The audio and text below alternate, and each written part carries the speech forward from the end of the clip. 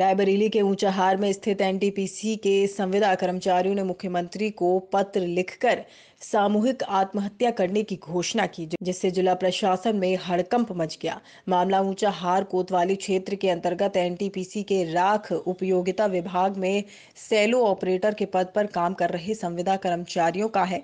सभी संविदा कर्मचारी तेरह वर्षों से एनटीपीसी में काम कर रहे थे, लेकिन अचानक उनकी संविदा को समाप्त करके उन्हें एक चार दो को नौकरी से निकाल दिया गया। पीड़ित सभी संविदा कर्मचारियों ने केंद्रीय श्रम आयुक्त राजीव रंजन से न्याय की गुहार लगाई थी, जिस पर केंद्रीय श्रम आयुक्त इन लोगों को दोबारा नौकरी पर रखने की बात कही थी। लेकिन एनटीपीसी के कर्मचारियों ने उनकी एक न सुनी। इसी से आहत होकर सभी संविदा कर्मचारियों ने मुख्यमंत्री को पत्र लिखकर 14 सात 2023 को थाना क्षेत्र के गोकना घाट में सामूहिक आत्महत्या की घोषणा की है, जिसका पत्र वायरल होते ही जिला प्रशासन में हड़कंप मच गया है बताइए एनटीपीसी से निष्कासित होने के बाद आप लोग आत्महत्या की बात कर रहे हैं और सर क्या किया जाए यही एक रास्ता विकल्प बचता है हम्म। हमको तो खैर बुलाया भी गया था अंदर।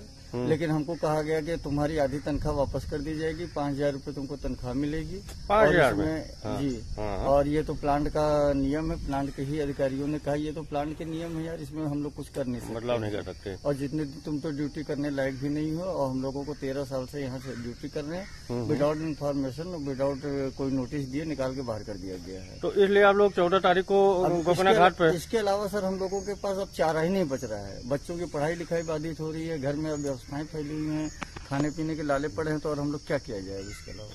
हम्म, तो इसी को लेकर आप लोगों ने फैसला किया है चौदह तारीख को बस बस, बस बस बिना कहे बिना कुछ सोचे समझे जाके चुपचाप चाहे कोई किसी भी प्रकार से बस मृत्यु को प्राप्त करना। अगर इस बीच प्रशासन आ जाता है तो आप लोग क्या करेंगे? उसके बाद भी मृत्यु को प्राप्त करेंगे या कोई लिखित कार्रवाई में अगर हम लोगों को दिया जाता है हमारे जो सीनियर्स हैं उनको कुछ दिया जाता है और कहा जाता है कि ठीक है आप लोग रुकिए एक दो दिन में ज्वाइन करा दिया जाता है लिखित अगर आदेश दे दिया जाता है यदि कंपनी में आपको दोबारा नौकरी मिल जाती है तो आप ऐसा तो नहीं करेंगे? स्थगित कर सकते हैं सर। लेकिन वो भी अपने अधिकारी अपने अधिकारियों से मिल पूछने के बाद।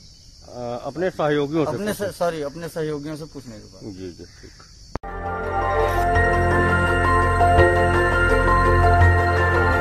देखते रहिए डीबी भारती समाचार नज़र हर खबर पर।